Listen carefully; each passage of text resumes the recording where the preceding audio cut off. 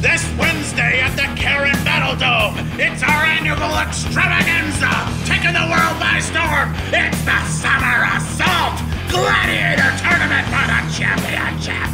Teams of adventurers strive to survive against the meanest, the cruelest, and the coolest competitors on the planet. Witness glorious and horrific destruction as warriors and beasts fight to be the best.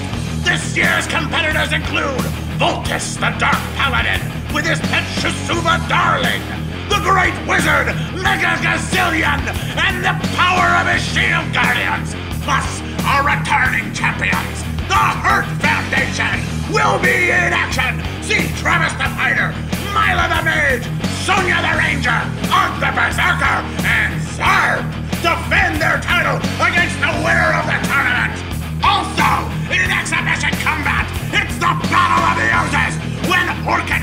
puts it all on the line against the Gelatinous Cube.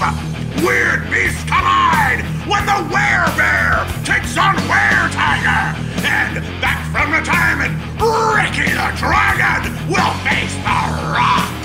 All this and more this Wednesday at the Karen Battle Dome. It's the Summer Assault, where even the blood